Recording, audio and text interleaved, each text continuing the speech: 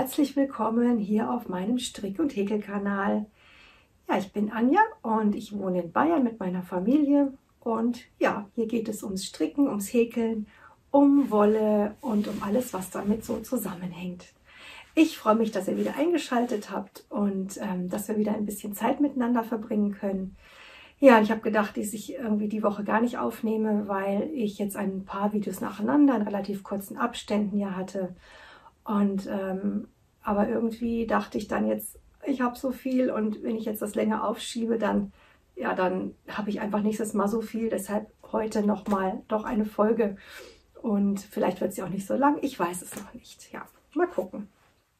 Ja, auf jeden Fall schön, dass ihr da seid. Ich freue mich und ich begrüße euch ganz herzlich, egal ob ihr neu dabei seid oder ob ihr schon öfter meine Podcasts geschaut habt.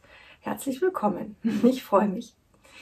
Ja, und vielleicht habe ich mir überlegt, dass ich ein paar ähm, zwischendurch mal was einblende, ein paar Fotos, so im Verlauf dieses Videos, einfach um ähm, euch mal zwischendurch auch eine kleine Verschnaufspause eventuell zu geben von den ganzen Strickigen. Äh, muss ich mal sehen, ob das klappt, ob ich überhaupt was habe, was so passend wäre und ob es einfach vom Kontext her so reinpasst. Ihr werdet es ja dann sehen im Verlauf des Videos, ob was drin ist oder nicht. Äh, oder ob ich das nächstes Mal mache, weiß ich noch nicht genau. Mal schauen. Ja, ich habe schon wieder ganz viel gewerkelt. Ich war zwar so ein, zwei, drei Tage ein bisschen weniger dabei mit Stricken. Dann ging es mir mal nicht ganz so gut. So ein bisschen was auf den Magen geschlagen.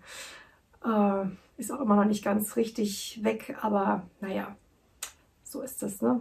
Und irgendwie, wenn ich erkältet bin, dann kann ich problemlos auch stricken. Dann macht mir das eigentlich so nichts. Also außer es hätte jetzt hohes Fieber oder so. Aber wenn es mir irgendwie nicht gut ist, dann, nee, dann geht gar nichts bei mir. Ich weiß nicht, wie es euch da geht, aber nee, dann geht nichts. Aber gut, jetzt äh, ist es wieder besser und ähm, ich zeige euch, was ich so gemacht habe. Und dann legen wir auch gleich los, oder? ja, und ich möchte anfangen mit, wie heißt das immer, mit dem Elefant im Raum. Und diesmal bin ich der Elefant, muss ich zugeben. Und zwar, schaut mal her, das ist der Ninilchik Swan Show. Der ist wirklich sehr auffällig. Ne? Also ich sehe das gerade jetzt auch in der Kamera, wo ich denke, der ist schon echt, der knallt irgendwie richtig. In echt ist der gar nicht so, so knallig irgendwie. Also ja, ich stehe mal kurz auf. Ja, so hier die Hose. So, so sieht, mit meiner Palme hier, so, so sieht der aus. Das ist eine Kaufanleitung von Caitlin Hunter. Ihr kennt die vielleicht, die ist nicht mehr ganz neu, die Anleitung zeige mal von der Rückseite. Das ist genauso aus, nur oben im Nacken mit verkürzten Reihen. Also ist der Nacken ein bisschen höher. Ich weiß nicht, ob ihr es jetzt gesehen habt, aber ihr wisst ja, wie verkürzte Reihen aussehen. Ja, also der Ninilchik Swonsho. Ein Swonsho ist ja so eine Wortkreation aus ähm, Sweater und Poncho. Und das sieht man natürlich auch hier, weil ja, das sieht man vor der dunklen Couch jetzt nicht so richtig super. Möchte auch mal näher kommen. Genau. Dass die Ärmel sehr weit unten angesetzt sind und ganz eng sind, was ich schön finde. Die sind nämlich so im Rippenmuster. Die legen sich gut eng an. Ab dem Ellenbogen ungefähr hier so. Und der Rest ist halt weit. Und mein Mann hat gefragt, wo ich ihn gestrickt habe, so vor, das ist schon so zwei Jahre her, anderthalb Jahre, zwei Jahre, sagt er, ob ich einen Lampenschirm stricke. ja, seitdem ist es der Lampenschirmpullover bei uns, ja. Und ich würde jetzt im Nachhinein die Farben etwas anders wählen, denn ich finde diese Zacken schon sehr prominent irgendwie. Ähm, ich würde vielleicht auch, so wie es im Original ist, bei der Caitlin Hunter, die hat den Hauptteil, also das, was hier alles grau ist, also die Hauptfarbe, hat die in hell, ich glaube so ein beige ist es. Und es gefällt mir tatsächlich, glaube ich, besser. Ähm, ich glaube, es gefällt mir besser, wenn das Hauptdings hell ist und das Muster dunkel. Ähm, ich finde es immer ganz schwierig, weiß nicht, wie es euch da geht, ich finde es immer ganz schwierig, wenn man so Wolle hat, dann denkt man so, ja, das wird gut zusammenpassen. Dann habe ich so ein paar Knäuel. Und ja, ne, fünf Farben oder keine Ahnung, weiß ich nicht. Und dann denke ich, es passt gut zusammen. Aber wenn ich es dann verstricke, denke ich manchmal, hm, hätte ich besser die Farbe getauscht mit der anderen oder so. Und deshalb gucke ich mir mal ganz gerne die äh, Projekte bei Reverie an, weil ich dann oft schon sehe, so, ach nee, wenn praktisch hell auf dunkel, gefällt mir das nicht so gut wie dunkel auf hell oder sowas. Ne? Ja, und ähm, das weiß ich gar nicht, habe ich hier zwar, glaube ich, auch gemacht, aber mir gefielen dann auch die Farben zusammen so im Knoll ganz gut. Aber so verstrickt, ja, ich finde es immer noch okay. Aber es sieht so, ja, ein bisschen zu heftig aus für mich. Also, ja. Ne, weil ich finde, dass diese hellen Zacken, die sind für mich ein bisschen zu knallig. Ja. Aber sonst, also er ist vom Sitz her, ja klar, es ist natürlich so, wenn man die Arme hochnimmt, rutscht das ganze Ding nach oben. Das ist ja klar. Das ist ja immer so, wenn man so eine lange Rundpasse hat, die so weit runter geht. Oh, das wusste ich auch vorher. Das finde ich jetzt auch in Ordnung. Also er ist ja auch lang genug und ich ziehe den ganz gerne an, so mit dem Hund rauszugehen. Dann kann ich nämlich in die Hosentasche noch die Hundetüten stopfen. Dann sieht man das nicht, weil er so weit ist. Ja, also das ähm, ist in Ordnung, der Sitz ist in Ordnung. Es gab, glaube ich, zwei Größen in der Anleitung. Ich habe die äh, kleinere Größe gestrickt und der ist immer noch riesig, ja. Gut, und er ist echt warm. Also es sind verschiedene Restgarne, die ich hatte. Unter anderem dieses oh, mit äh, von Hobby ist das. Also es ist die Farbe, aber hier kann man das Label besser sehen. Und das ist die gleiche Qualität, ne? nur jetzt ein bisschen eine andere Farbe. Happy Sheep heißt die von Hobby. Und das sind 165 Meter auf 50 Gramm. Äh, und das sind 100% Wolle. Ja, und das ist, hm, genommen habe ich aber diese Farbe. So, hier in diesen Zacken, denen hier. Das andere war also auch ein Hobbygarn, so ein Verlaufsgarn, was aber dadurch, dass es nicht viele rein sind, jetzt den Verlauf gar nicht so, ähm, den sieht man jetzt gar nicht so. Und dann habe ich auch ein paar Acrylgarne verwendet und der ist echt warm, der Pullover. Also das, das muss man sagen, der ist gemütlich, ist er auf jeden Fall. Ja, das war der Nini Chicks äh, Swan Show, so, von Caitlin Hunter. Mir ist tierisch warm. Ich habe eben hier aufgebaut und habe die ganze Zeit dieses Ding schon angehabt. Puh. ja. Für drin ist eigentlich zu warm, finde ich. Naja. Ja, wie mache ich weiter? Äh, ich würde sagen, ich greife noch mal ein Thema auf aus meinem letzten, aus meiner letzten Folge. Falls ihr die gesehen habt, könnt ihr euch vielleicht erinnern, dass ich dieses weiße Lochmustertuch gezeigt habe. Das war das Tuch Entschuldigung, das war das Tuch Ast aus dem Buch Tücher stricken für jede Jahreszeit. Und ich zeige euch das gleich. Ähm, ist jetzt nur kurz die Vorrede. äh, und da hatte ich mit der Farbe gehadert. Das hatte ich in so einem Naturweiß gestrickt und fand das für mich zu ungünstig von der Farbe her einfach. Das hat mich blass gemacht und irgendwie ist es sehr empfindlich von dem Weiß her. Dann hatte ich euch ja gefragt, ob ihr schon mal mit Lebensmittelfarbe gefärbt habt. Also ein fertiges Strickstück und zwar eins, was aus Industriewolle gefärbt, äh, gefertigt ist. Ich habe auch einige Rückmeldungen von euch erhalten, also vielen Dank. Und ähm, an dieser Stelle auch ganz vielen Dank an die liebe Tina. Ähm, ich blende euch hier unten ihre ähm, Instagram, ihren Instagram-Namen ein. Die hat sich nämlich auch bei mir gemeldet und hat ähm, wir hatten also ganz netten Kontakt und sie hat mir angeboten, dass sie das Tuch für mich färbt. Sie ist Handfärberin und ähm, schon seit vielen Jahren. Ja, und ähm, dann hatten wir das auch erst vor und äh, hatten das auch schon so abgesprochen, dass ich ihr das zuschicke, weil sie jetzt auch nicht gerade direkt um die Ecke wohnt. Und ja, dann hat mich aber irgendwie am nächsten Tag die, der Ehrgeiz gepackt. Also die, die Duck äh, vom ähm, Siawohl Studio Bass Podcast, die kennt ihr sicher auch, die hat mir auch geschrieben und sie hat mir auch ein paar Tipps gegeben zum Färben. Naja, und auf jeden Fall hat mich die, der Ehrgeiz gepackt und ich habe gedacht, das muss ich auch selber hinkriegen. dann habe ich mir in der Früh am Montag früh den Spaghetti-Topf geschnappt und meine restliche Lebensmittelfarbe, die ich noch hatte und habe gedacht, jetzt probiere ich es einfach. Was kann schon passieren? Außer, dass das Tuch hinterher eine komische Farbe hat, die ich vielleicht dann nochmal überfärben kann, oder? Ja, und jetzt zeige ich euch, was draus geworden ist. Inzwischen ist es äh, gewaschen, getrocknet und so weiter. Ja, und jetzt sieht es so aus. Moment. So. Ach, ich habe gerade hier diese Stelle, die ein bisschen verhunzt ist. Da werde ich mal kurz, ich zeige euch den schönen Teil. So ist es geworden. Es ist ein, wie ich finde, ganz schönes hellgrau geworden mit einem ganz leichten Stich ins, ins Taubenblau. Also so ganz leichtes Blaugrau. Manchmal ist auch so einen leichten Lavendelstich, also je nachdem, wie man es vom Licht her, wie es gerade im Licht erscheint. Und ich finde, es ist eigentlich ganz gut geworden. Also mir gefällt es jetzt so. Bis auf das, was ihr gerade schon zuerst gesehen habt. Oh, da ist so eine Stelle, die ist so ein bisschen, äh, ja, so ein bisschen lila. Hm. Ja. Ist wieder okay. Ja. Und dann mal so ganz zeigen. Hier ist eine Beule. Hier.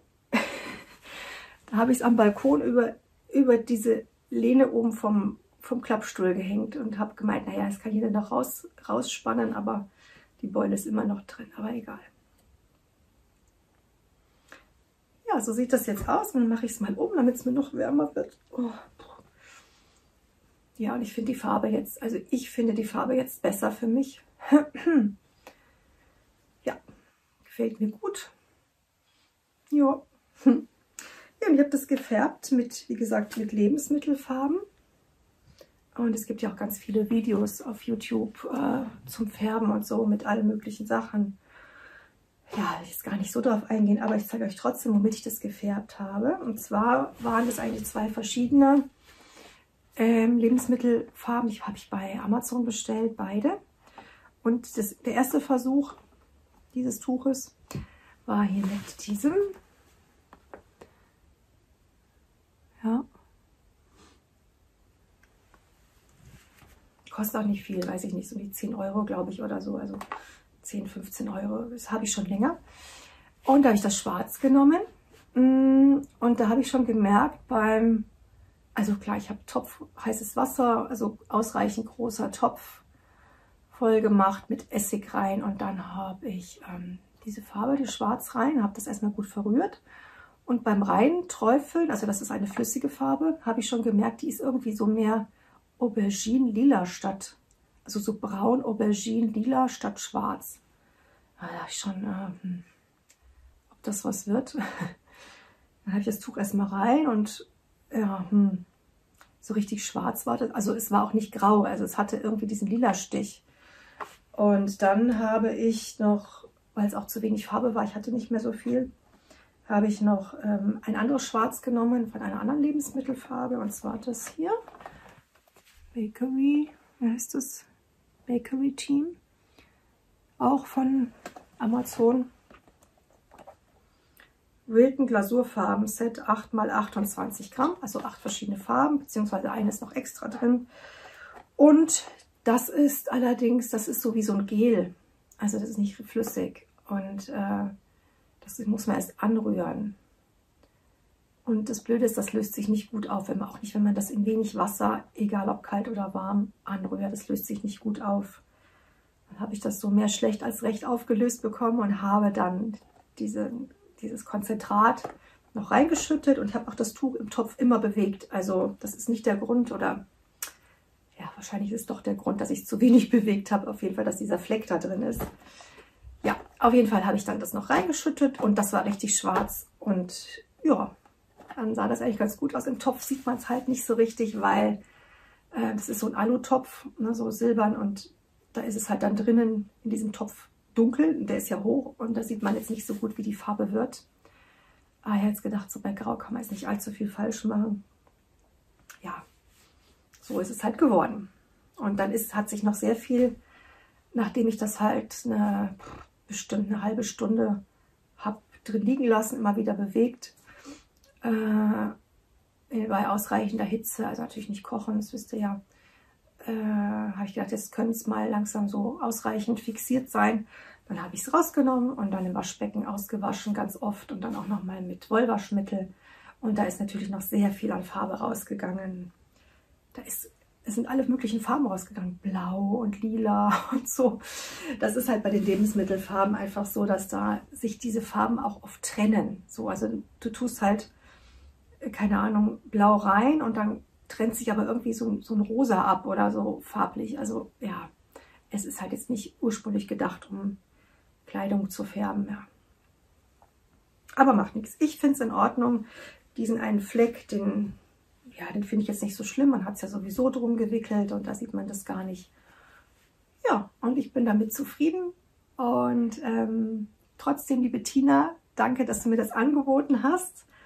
Ich bin davon überzeugt, dass es mit deiner Färbetechnik sehr viel schöner noch geworden wäre. Aber ja, jetzt kann ich wirklich sagen, ich habe das selber gemacht. ja, das Tuch, was ich selbst nachgefärbt habe. Wenn ihr noch Fragen dazu habt, dann meldet euch gerne. Ich habe bestimmt irgendwas jetzt vergessen zu erzählen. Ja. Gut, ich habe noch eine Menge an Fortschritten zu zeigen und ich würde gerne anfangen mit dem Night Shift Shawl.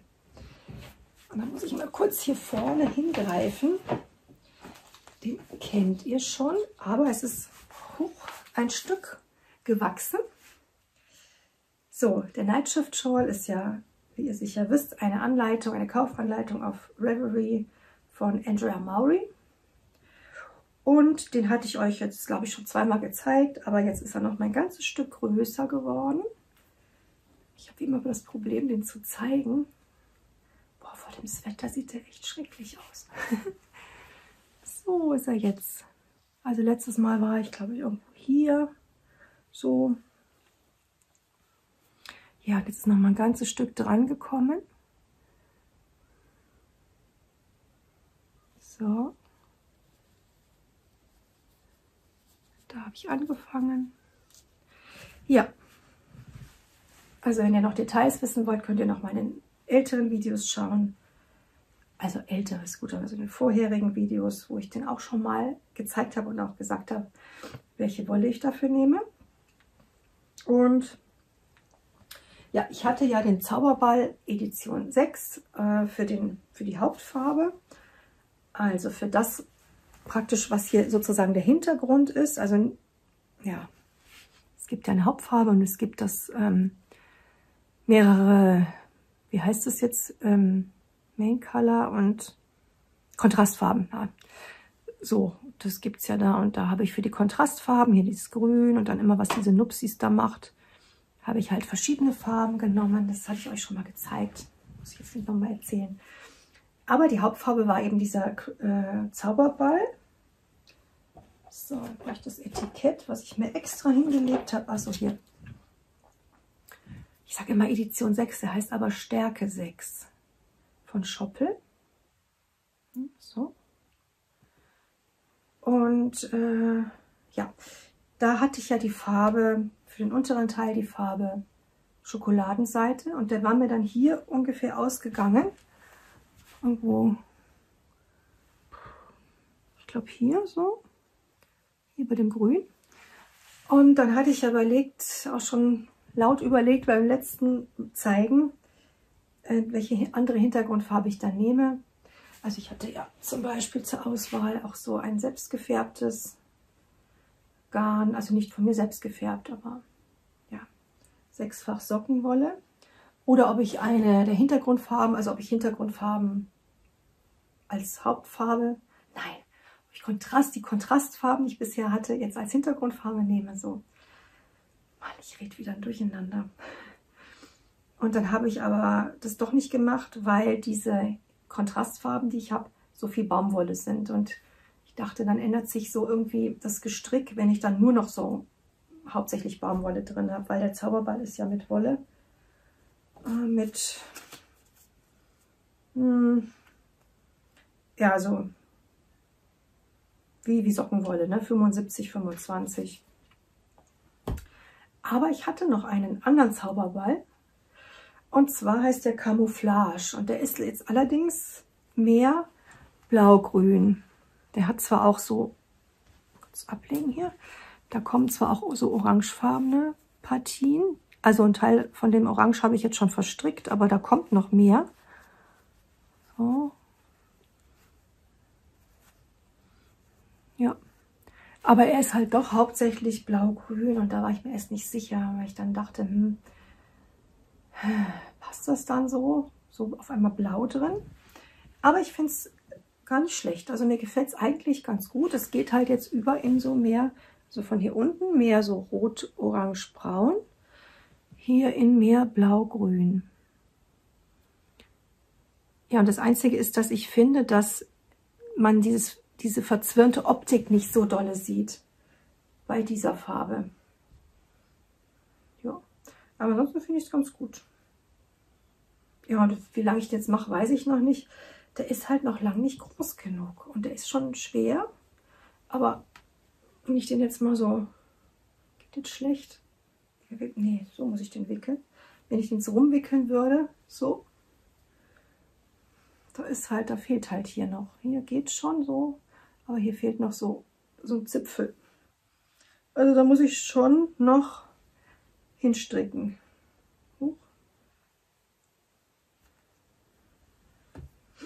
Ja, alles noch dran. Ich dachte schon, jetzt ist mir das, war so ein komisches Geräusch. Ja, oh, sind mir die Maschen runtergefallen. Nee.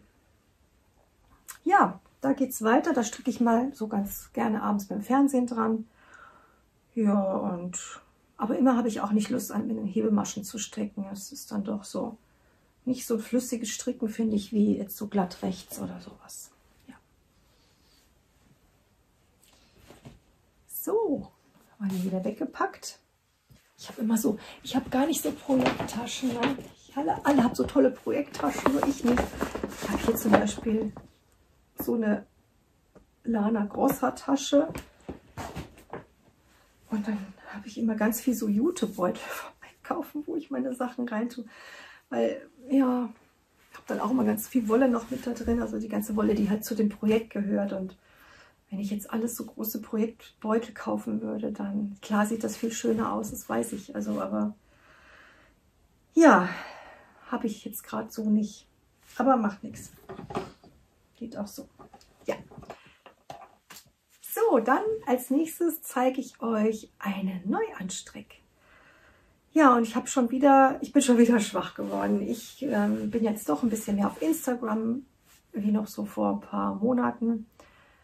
Oh, das ist so schlimm und ich komme da manchmal echt nicht von weg und dann sind da so tolle Sachen. Und dann sind ja auch da ab und zu Teststricks, äh, auf, Teststrickaufrufe. Ja, da bin ich äh, schon letztes Mal habe ich euch äh, einen Testanstrick gezeigt, den Lola Cardigan, den zeige ich euch aber gleich noch, da bin ich nämlich auch schon weiter. Aber erst zeige ich euch einen Testanstrick, den ich jetzt nochmal neu angefangen habe, diese Woche. Der ist auch so schön. Ich finde den so schön. Und zwar ist es ein Sweater, der Rock Sweater von Gift of Knitting, heißt die Designerin, die Alina.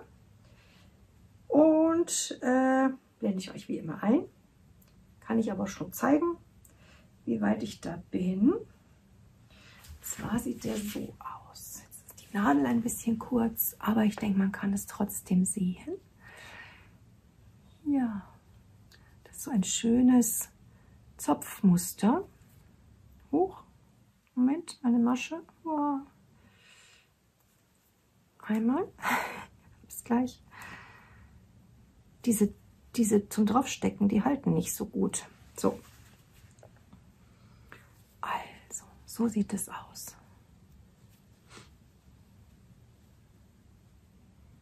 Finde ich ein ganz, ganz interessantes Muster, was hier so als Block beginnt, aber dann hier so ausläuft nach oben hin, also schmaler wird. Und das ist hier genauso auf der anderen Seite. Zieht sich jetzt ein bisschen zusammen, aber ich denke, man kann das so einigermaßen erkennen. Ja.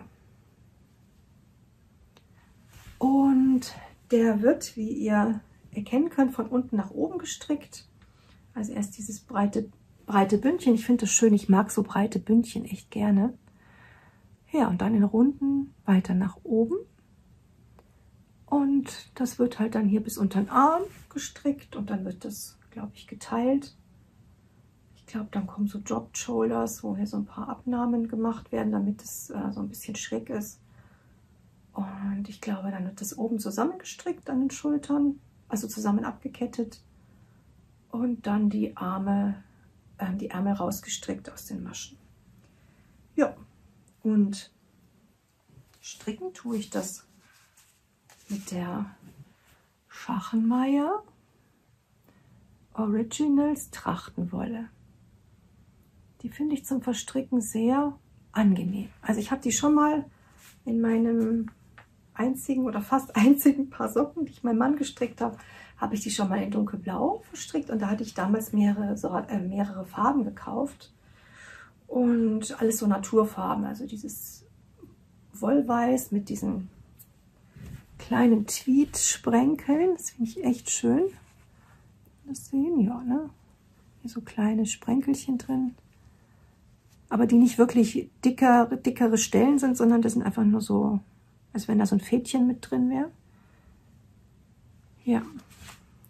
Also die hatte ich so in Naturfarben, in diesem Wollweiß und dann noch in so einem hellen Beige und so einem Graubeige und einem Braun und einem Dunkelgrau. Also ich hatte überall, glaube ich, zwei Knollfarben bestellt, weil ich nicht wusste, welche Farbe ich dann im Endeffekt nehmen werde. Und jetzt ist mir das zugute gekommen. Jetzt habe ich mich daran erinnert, weil ich eine bestimmte Garnstärke halt brauchte für diesen Teststrick.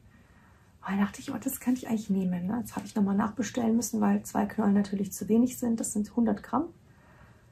Äh, ich werde wahrscheinlich, also ich weiß nicht, ob ich mit 400 Gramm auskomme. Kann sein, dass ich noch ein fünftes Knoll brauchen werde. Also ich habe jetzt noch drei bestellt. Ja, und das ist, das ist die Farbe 80. Und das ist von der Zusammensetzung her, steht denn das, 63% Wolle, und 37% Polyacryl. Also ist jetzt ein etwas niedrigerer Wollanteil, als man es so vielleicht gewohnt ist. Und die ist auch nicht jetzt super weich. Also die ist schon angenehm, die kratzt auch nicht, aber sie ist schon, wie heißt das immer so schön, griffig. Und finde ich schön zu verstricken. Also mir macht es Spaß, die zu verstricken.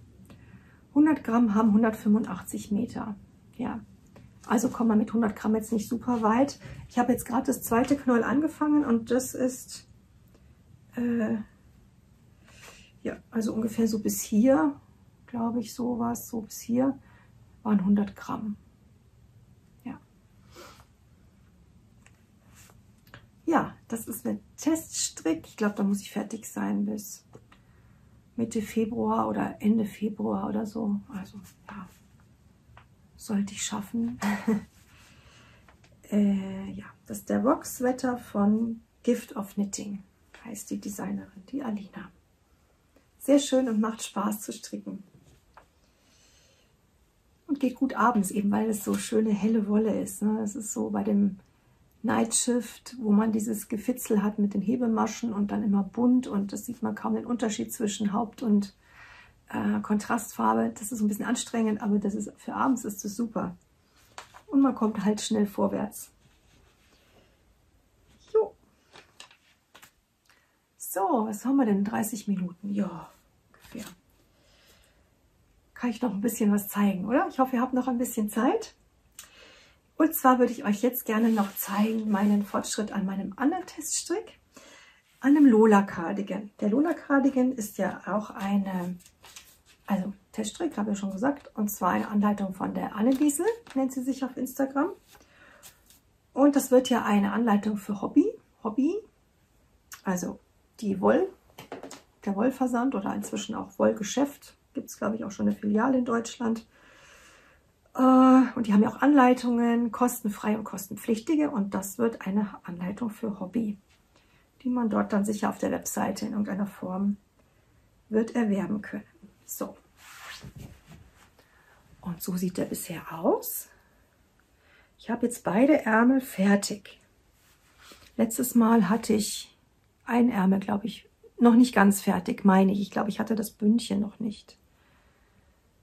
So, und ihr seht, das sind so ähm, Ballonärmel, also nicht ganz extrem, aber schon gerade gestrickt bis unten und dann Maschen abgenommen und dann kommt das Bündchen. So, hier auch nochmal. Und ich habe ähm, dreifädig gestrickt. Habe ich im letzten Video schon mal ein bisschen was zu erzählt. Dreifädig, wobei ich, wie ihr seht, so einen äh, Farbverlauf habe. Hm, hier oben dunkel, dann wird es hier heller und dann hier noch heller, beziehungsweise am Ärmel, der ja schon fertig ist, sieht man das besser. Dann wird es hier unten dann noch heller. Ich habe dann immer so einen Faden ausgetauscht gegen einen anderen, so dass dieser Kontrast oder dieser Verlauf nicht so, nicht so auffällig ist. Ja, und hier unten muss ich mal sehen, der ist relativ kurz. Ob ich den vielleicht noch ein bisschen länger stricke, weil ich habe, also da passiert ja jetzt nichts mehr. Ne? Das ist gerade runtergestrickt, dann kommt noch ein Bündchen. Ich habe auch meine Rückmeldung für ähm, die Anleitung schon an die Designerin gegeben. Alles, was mir so aufgefallen war, habe ich schon rückgemeldet. Insofern ähm, bin ich eigentlich schon sozusagen mit dem Teststrick durch. Wie gesagt, hier kommt nur noch ein Bündchen dran. Also da passiert jetzt nicht mehr so viel, was irgendwie noch einer Rückmeldung bedarf, denke ich. Und deshalb mache ich ihn vielleicht ein bisschen länger für mich. Muss ich mal sehen. Ich weiß nicht, wie das aussieht, wenn die Ärmel schon so ballongig sind.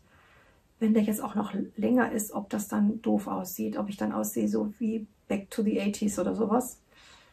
Äh, also vielleicht hat der wirklich einfach deshalb seinen Reiz, weil er eben kurz ist. Muss ich mal sehen. Also das äh, weiß ich noch nicht genau.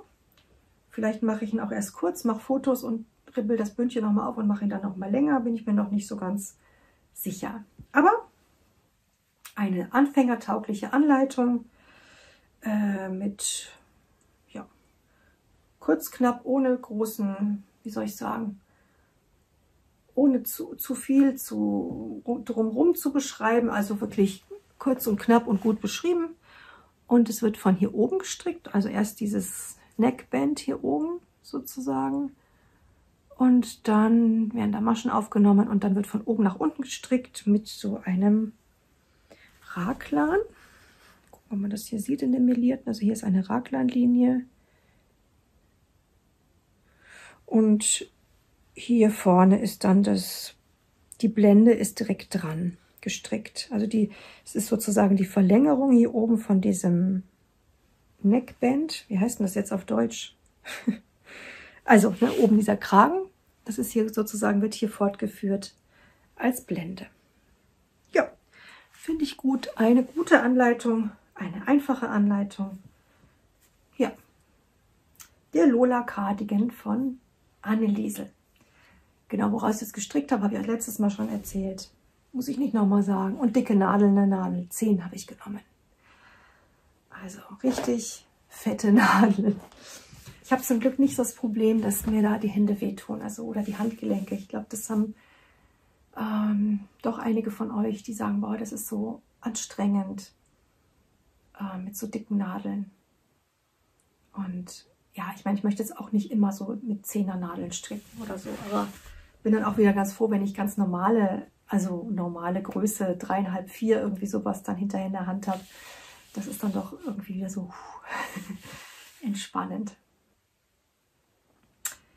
Jo, das ist alles, was ich euch an Fortschritt zeigen wollte. Oder? Nein, ich habe noch was. Ich habe noch was.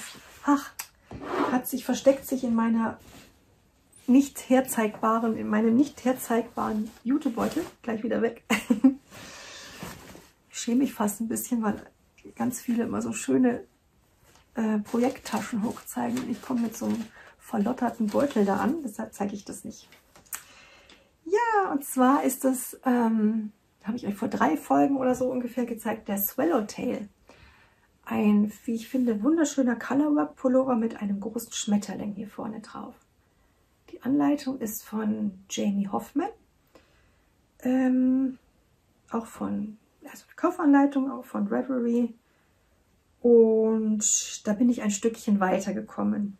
So, und zwar jetzt so, dass ich den tatsächlich mal überschmeißen kann, äh, wenn ich jetzt nicht dieses Ding anhätte. Und das mal kurz Also keine Angst, ich habe doch ein T-Shirt drunter. Passiert nichts Schlimmes, ihr könnt weiter zugucken. So, ein neutrales T-Shirt.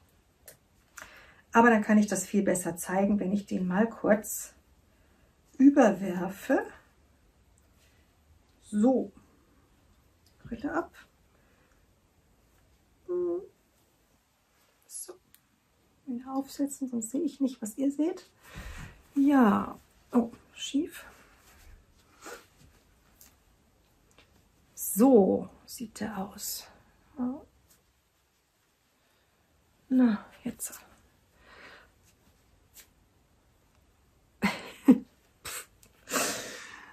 Ja, doch nicht so einfach. Gut, also das ist der Swallowtail und soweit bin ich jetzt. Ich beim letzten Mal war ich irgendwo, keine Ahnung, hier so mitten in einem Schmetterling, glaube ich.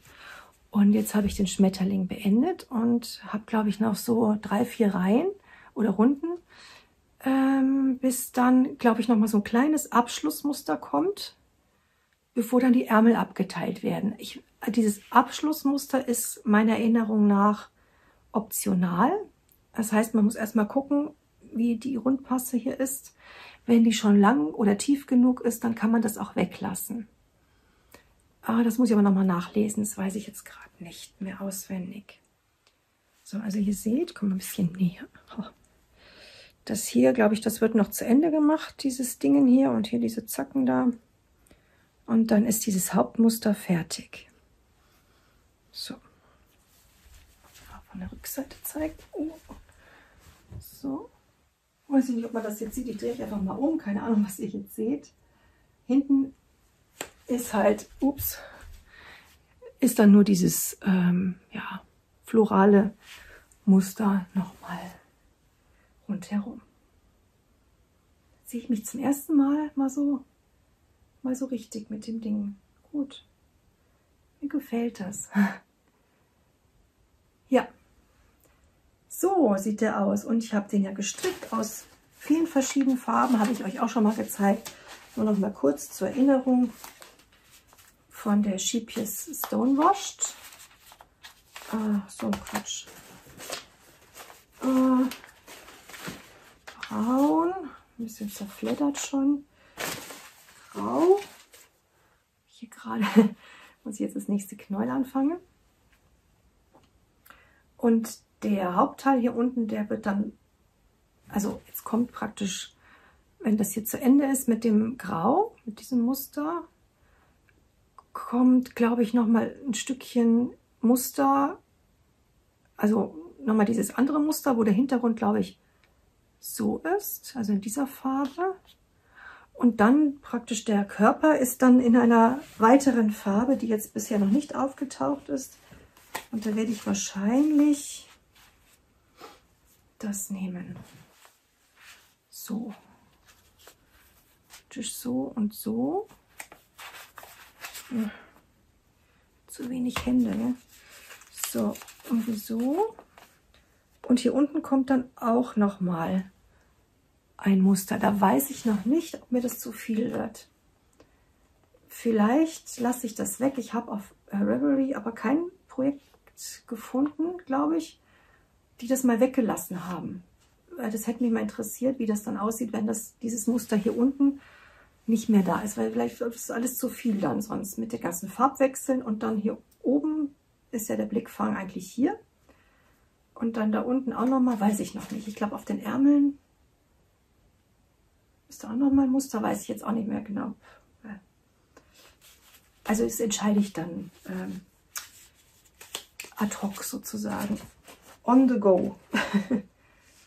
ich fand das dazu auch nicht schlecht, weiß ich noch nicht, aber ich glaube, ich finde das, dieses Curryfarbene besser. Hm.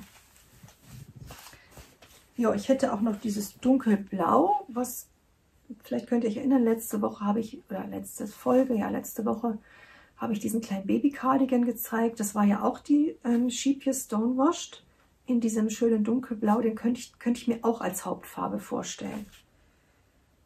Ja, also entscheide ich noch. Aber so gefällt es mir schon mal ganz gut. Ja, oder? Wie findet ihr das? Hoffe, es gefällt euch auch. ich Bin schon echt gespannt, wenn der fertig ist. Weil das ist jetzt, glaube ich, das aufwendigste Colorwork, was ich bisher in meiner Strickkarriere gestrickt habe. Und auch wie sich das dann verhält äh, mit dem Tragen und so, weil das ist ja äh, Baumwolle hauptsächlich. Und trotzdem ist es ja so weich. Ne? So, es ist schon so, so, so ein bisschen fusselig. Das greift gut ineinander für Colorwork, die, die Fäden. Also, ähm, ja, finde ich schön. Oh, jetzt lasse ich, glaube ich, den Dinges da aus, weil es ist echt so warm. Jo, das war der Swallowtail. So, ich sehe nichts, ne? So. Ja, auch beiseite. Ja, und dann würde ich euch gerne, mir so die Haare zu Berg, so. Dann würde ich euch noch zeigen gerne, was bei mir noch eingezogen ist an Wolle.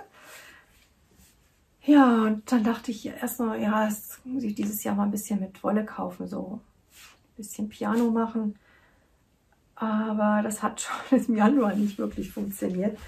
Ich habe ein bisschen Wolle eingekauft und zwar gleich zweimal.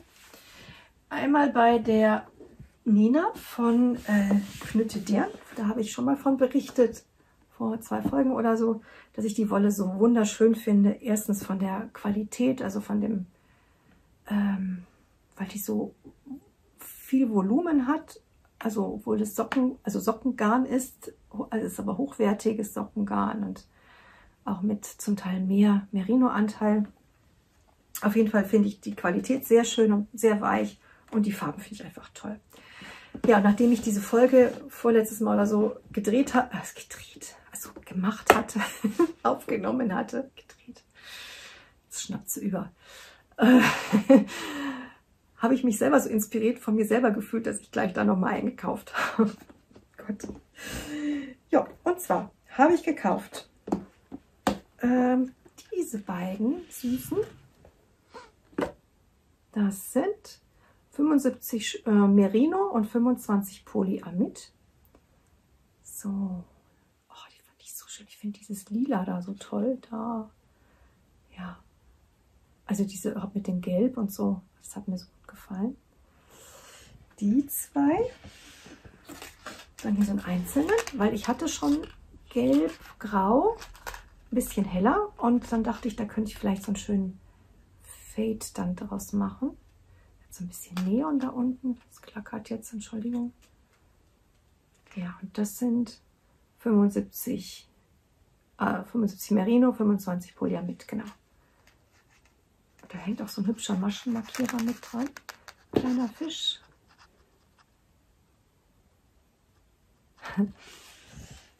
so, und von dem nächsten habe ich drei Stränge.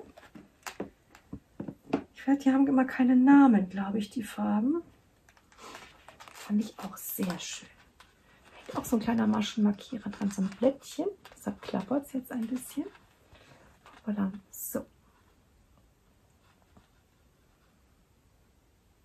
Das ist so für mich echt so frühlingsmäßig, so schon. So, so wie so ein Erdbeereis oder so Erdbeereis mit mit irgendwie so Schokostreuseln drauf oder sowas. Ich habe schon Halluzinationen. So, das sind 89% Merino und 11% Polyamid. Also auch nochmal weicher. Ja. Und als wenn das nicht schon genug wäre, habe ich dann noch, noch bei einem Etsy-Shop bestellt. Äh, und zwar bei Made by Marble Look. Da hat mich die Mandy vom Kanal Mandy strickt jeden Tag mal drauf gebracht. Die hatte da auch schon, glaube ich, öfter bestellt und auch schon äh, den Boxy von Jorge Locatelli draus gestrickt. Aus einer Färbung, ähm, die mir unheimlich gut gefiel. Und zwar war das die Färbung Wattwanderer. Ich verwechsel immer Strandläufer und Wattwanderer. Ich glaube Wattwanderer. So, und ihr seht schon, hier kommt hier kommt noch was, das ist noch im Karton.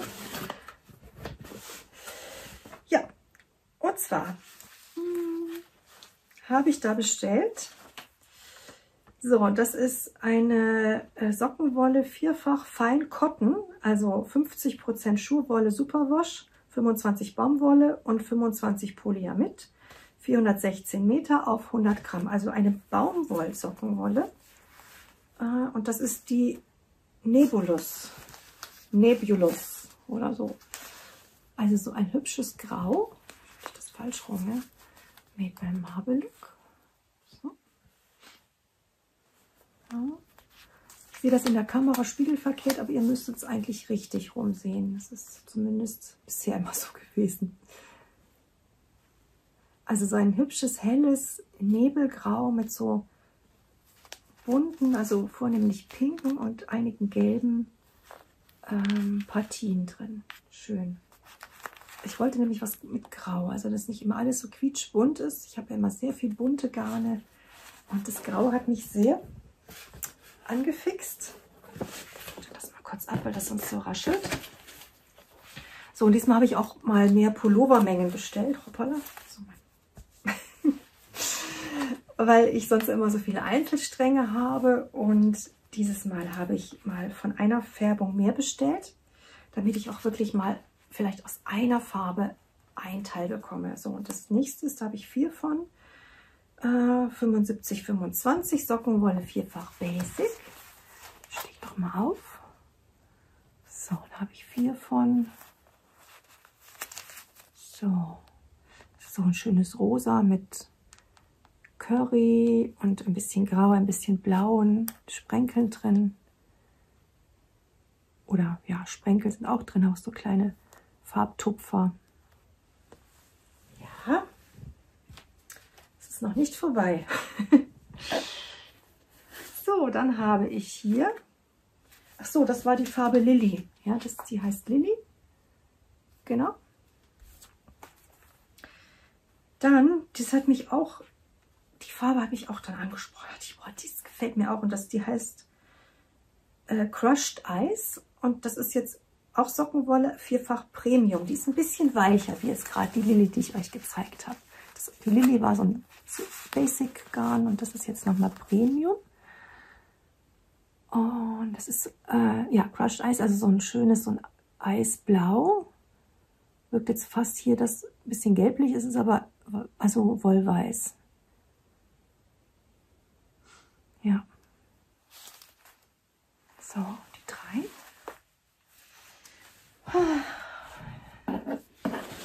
So, dann wird es nochmal, wow, jetzt nochmal kreischig. Bohemian Rose heißt diese Färbung.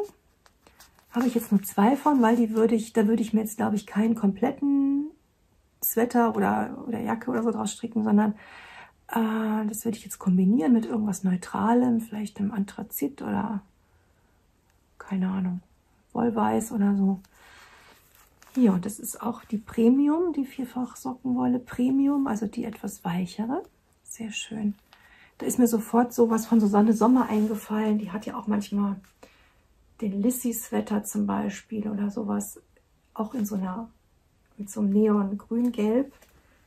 Da irgendwie sowas, wo vielleicht Streifen drin sind in so, in so einer Farbe. Ja, und zu guter Letzt die Farbe, die Färbung, die ich eigentlich wollte. Also eigentlich wollte ich nur die und dann bin ich aber da so ausgeufert. Das ist der Wattwanderer und das ist jetzt die wieder die Basic Sockenwolle und das ist das, wo mich eigentlich die Mandy halt mit angefixt hatte. So, so ein Blau-Grau, also so ein rauchiges Blau mit diesen ja, bernsteinfarbenen Partien drin. Oh, jetzt ist aber erstmal gut. ja, da könnte ich immer so einfach das angucken, weil es so schön ist. Ja, jetzt habe ich bloß keinen Platz mehr im Schrank gerade, deshalb ist das noch im Karton. Ich dann immer aufpassen muss, dass die Katzen sich nicht drauf gemütlich machen. Ja, meine Einkäufe. Schlimm ist das. Oh, ich habe so schlechtes Gewissen deswegen. Aber jetzt ist erstmal wieder gut gerade. Also außer jetzt die Nachbestellung für dieses, ähm, für den Teststrick. Ich muss jetzt erstmal ein bisschen gerade Pause machen, was das Bestellen angeht. Ja, und zu guter Letzt würde ich euch gerne noch äh, zeigen oder kurz erzählen, was ich noch so vorhab äh, zum Stricken in diesem Jahr.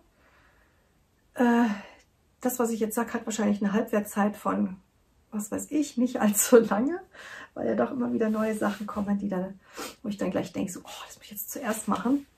Aber diese Sachen habe ich tatsächlich schon länger auf meiner Liste und ich würde gerne, zumindest strebe ich an, die in diesem Jahr gerne stricken zu wollen. Endlich mal, nachdem ich die Anleitung auch schon lange habe. Und das sind zum Teil echte Klassiker. Und die kennt ihr bestimmt alle oder zum größten Teil oder habt sie vielleicht sogar auch schon gestrickt. Ja, und da fange ich mal an mit dem Ranunculus. Es tut mir jetzt leid, ich habe unser Drucker ist so ein bisschen komisch. Der macht immer so Streifen und ein bisschen verknickt ist es auch schon, aber der Ranunculus. Eine, eine viel bestrickte Anleitung, Kaufanleitung auf Reverie von Midori Hirose. Die ist schon von 2017, die Anleitung. Aber äh, ja, ich, die reizt mich schon, weil ich glaube, dass es auch schnell gestrickt ist und äh, die würde ich gerne aus irgendwie leichtem Garn stricken, damit es so was ganz, ganz Leichtes wird, was, was man einfach so überwirft mit einem relativ großen Ausschnitt.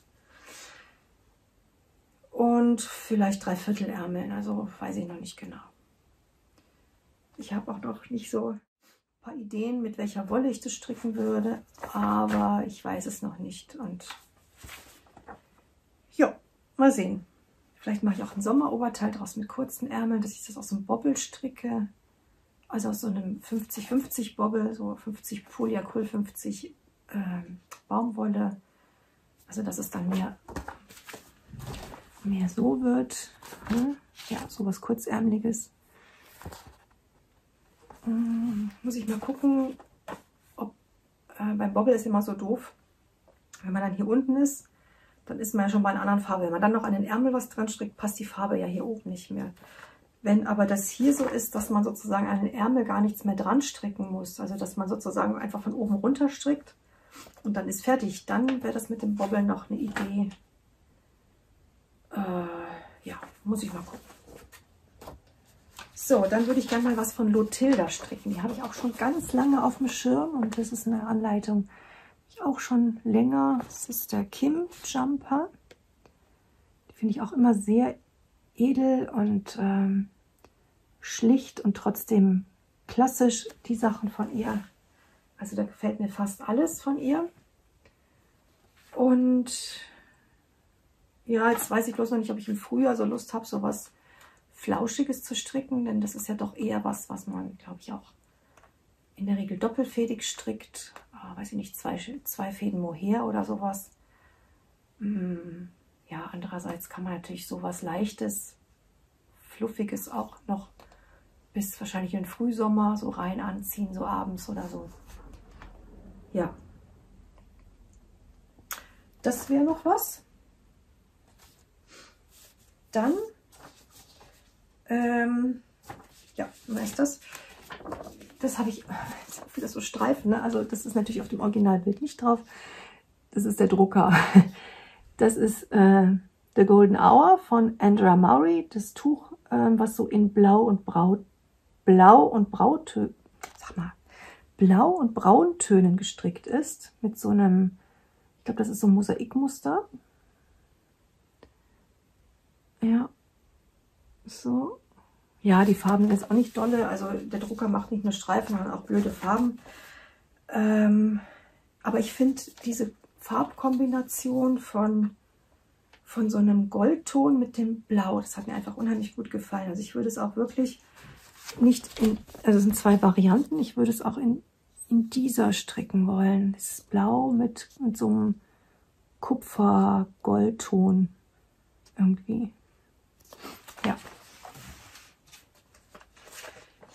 auch eine. Es sind alles Kaufanleitungen auf Reverie. Golden Hour. So, dann würde ich gerne mal was von Susanne Sommer stricken. Und ich habe eine, wieder eine, ein Streifenbild.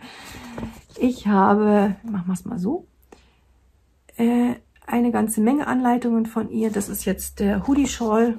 wie heißt der, Hoodie Shawl Cardigan ähm, mit dieser Kapuze dran. Ich liebe ja Kapuzen. Ähm, und hat, der hat jetzt hier drei Viertelärmel und den habe ich auch schon ganz lang auf meiner Liste. Mm, das ist sowas für so, das wäre wirklich irgendwie was hier für so sowas vielleicht. Da braucht man verschiedene Farben, ich glaube drei verschiedene und da kommen, kämen jetzt meine Einzelstränge so ins Spiel. Das äh, wäre auch noch was, was auf meiner Liste steht. Dann, wir haben es gleich. ich weiß nicht, ob ihr die kennt, die Anleitung dieses der Kaga Pullover von Rerico.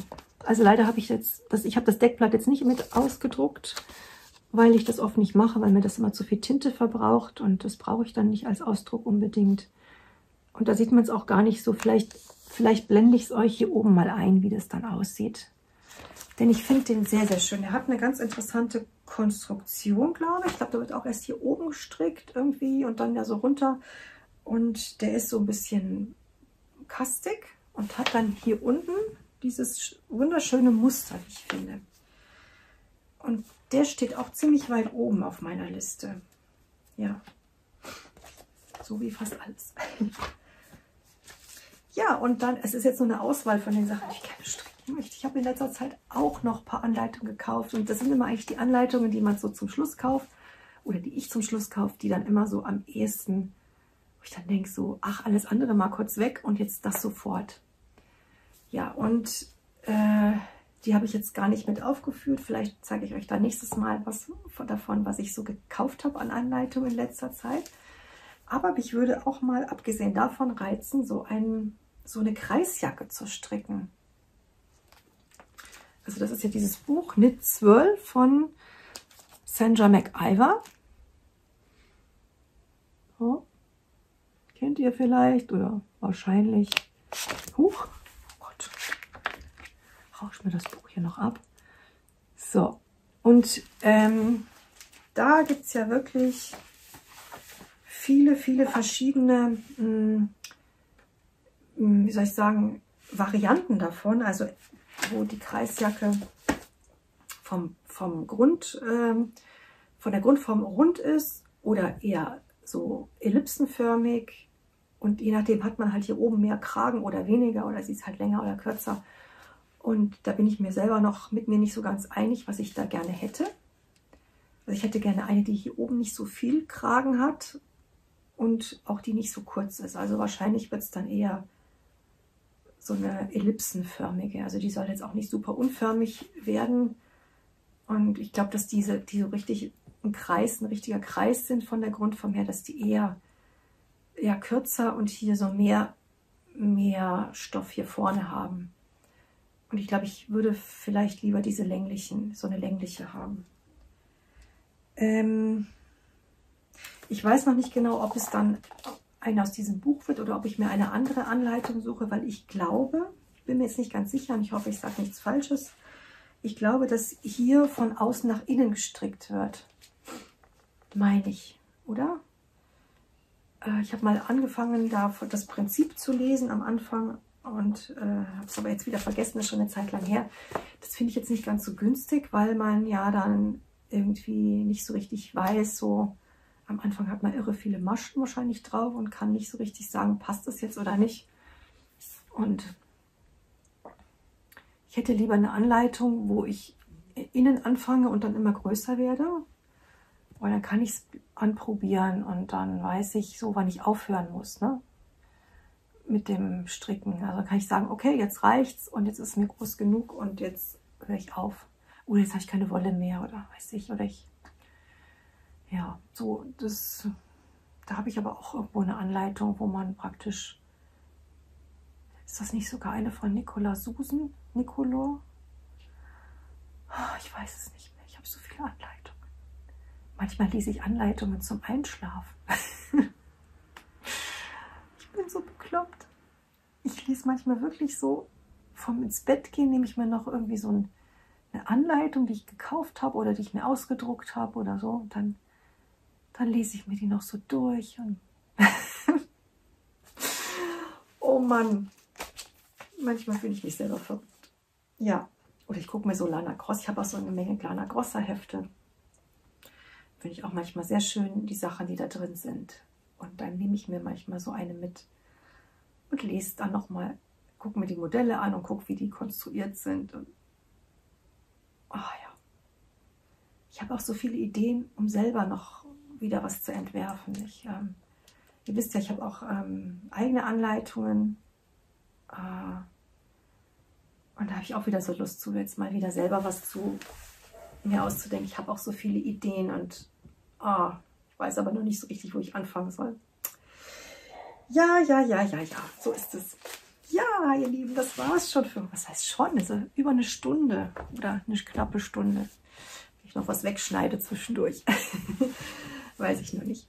Ja, das war doch länger, als ich dachte. Und Glücklicherweise habe ich heute aufgenommen und die nächste Woche, sonst wären es anderthalb Stunden geworden, wahrscheinlich.